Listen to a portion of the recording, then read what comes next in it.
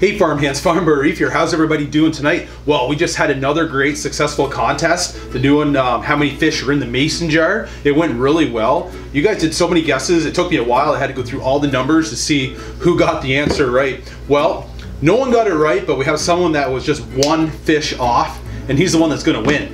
Well, in here, I counted, there was 165 in the winner, guessed 164. He was the closest one out of everyone, but it was pretty tight race. But uh, the winner was uh, Damian Deans with 164. I'm gonna post uh, his name and picture right here up on the screen. So Damian Deans, you've won um, the Farm Boy Reef apparel t-shirt, um, the sticker decal, and Powered by Polyp Lab sticker as well.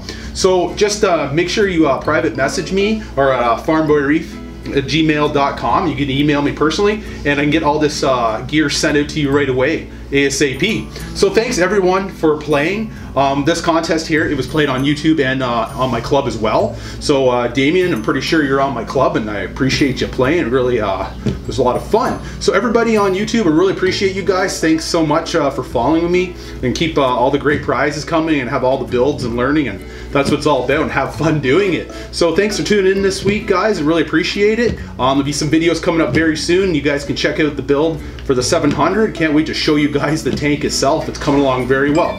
So please subscribe and hit the like button.